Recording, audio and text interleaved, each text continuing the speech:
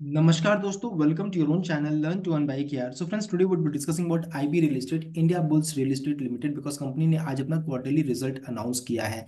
And stock में देख सकते हैं ऑलरेडी चार परसेंट का गिरावट आ चुका है अच्छा खासा गिरावट ऑलरेडी आ चुका है। अब क्या यहाँ से और कितनी गिरावट आ सकती है? कहाँ पर सपोर्ट बनेगा? इन सभी चीज़ों को चेक करने रेजिस्टेंस कहाँ पर अगर उछाला है तो कहाँ तक कौन सा प्राइस जो है रेजिस्टेंस का काम करेगा, उसको भी चेक करेंगे। तो चलिए, सबसे पहले चाहिए कंपनी का रिज़ल्ट को चेक किया जाए। तो फ्रेंड कंपनी का रिज़ल्ट आपके सामने में है, जो भी हम लोग डिस्कशन करेंगे that would be in million यहाँ पर देख सकते हैं, जो भी नंबर रहेगा, वो आपका मिलियन में रहेगा और कंपैरिजन जो होगा, आपका ईयरली एंड क्वार्टरली बेसिस में करेंगे। तो ये देखिए लास्ट 2022 का ये रिज़ल्ट है 2022 का।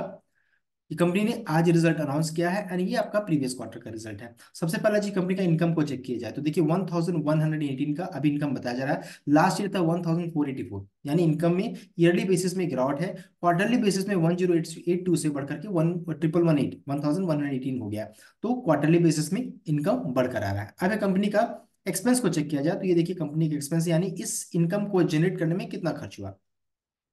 तो 1401 का भी है। लास्ट ईयर था 3894 बिकॉज़ कंपनी ने अदर एक्सपेंस में अच्छा खासा ऐड किया था देख सकते हैं। तो कंपनी का लास्ट ईयर एक्सपेंस बहुत ज़्यादा था प्रीवियस क्वार्टर में वन टू फोर सिक्स का था। तो आ, इस इनकम को एक्सपेंस से माइनस करेंगे तो कंपनी का आ जाएगा प्रॉफिट बिफोर टैक्स को हम लोग चेक कर लेते हैं। प्रॉफिट बिफोर टैक्स देखिए यहाँ बताया जा रहा है।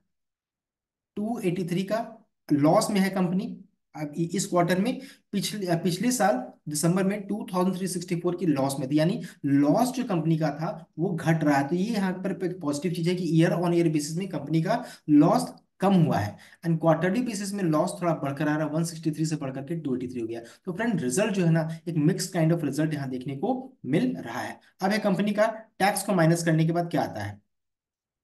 तो कंपनी का टैक्स यहाँ बताया जा रहा है। कंपनी का नेट प्रॉफिट माइनस करने के बाद नेट टैक्स माइनस करने का नेट प्रॉफिट 385 का लॉस में कंपनी है। अभी लास्ट ईयर थी 2367 के लॉस में 2367 का। तो लॉस में थोड़ी कमी हो रही है।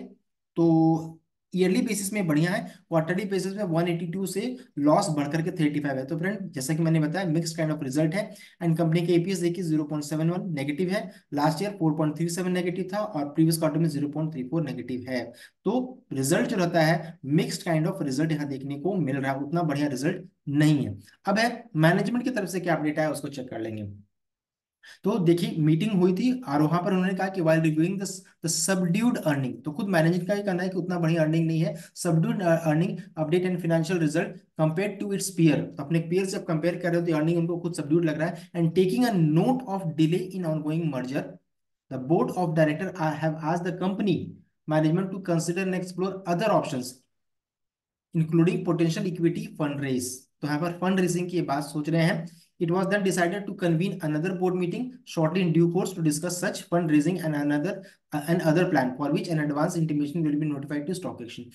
तो मर्जर जो इनका प्लान चल रहा था उसमें भी डिले देखने को मिला बिकॉज़ कोर्ट से हमेशा तारीख पे तारीख बढ़ती चली जा रही है एंड प्लस इनका जो परफॉर्मेंस है उतना बढ़िया नहीं है तो आप कब अब मैनेजमेंट का कहना है कि अब आप फंड रेज के लिए सोचिए कुछ ना कुछ पॉजिटिव अब अब ये लोग करना चाह रहे हैं तो यहाँ पर ये एक डेवलपमेंट देखने को मिल रहा है। मोस्ट ऑफ़ चांसेस है कुछ ना कुछ पॉजिटिव यहाँ से निकल कर आए इनकी मीटिंग जब होगी तब। अब है कंपनी का चार्ट तो चार्ट फ्रेंड जैसे कि हम लोगों ने इस शेयर को 86 के प्राइस से डिस्कशन करना स्टार्ट किया। कंपनी ने उसके बाद देखिए 120 127 का हाई भी बनाया। हमारा टारगेट 125 120 के रेंज में था। याद कीजिए, अगर आपने लास्ट वीडियो चेक किया होगा तो आपको मिलेगा। अच्छा खासा हम लोग को रिटर्न आ चुका है। अब है सपोर्ट सपोर्ट फ्रेंड अभी भी इसके लिए बनकर आ रहा है 108 108 का सपोर्ट निकल कर आ रहा है। रेसिस्टेंस इसके लिए क्लियर है भी देख सकते हैं 121 121 से 125 के रेंज में रेसिस्टेंस निकल कर आ रहा है। एंड चार्ट जो रहता है शॉर्ट टर्म ट्रेंड में अभी थोड़ा बेरिश है, लेकिन long term term long term weekly and monthly chart अभी स्टिल बुलिश है काफ़ी अभी इसमें और फ्यूल बचा हुआ 160 तक का टारगेट आ सकता है। लेकिन स्टॉप लॉस को हमेशा ध्यान में रखकर आपको ट्रेड कुछ भी करना है दैट अपनी इन्वेस्टमेंट एडवाइजर से संपर्क करने के बाद बिकॉज़ ये स्टॉक जो है बहुत ही रिस्की स्टॉक है। सो so, ये था important update about I real estate I hope आपको वीडियो अच्छा लगा। वीडियो अच्छा लगा देन वीडियो लाइक कीजिएगा शेयर कीजिएगा चैनल को सब्सक्राइब कीजिएगा। Thank you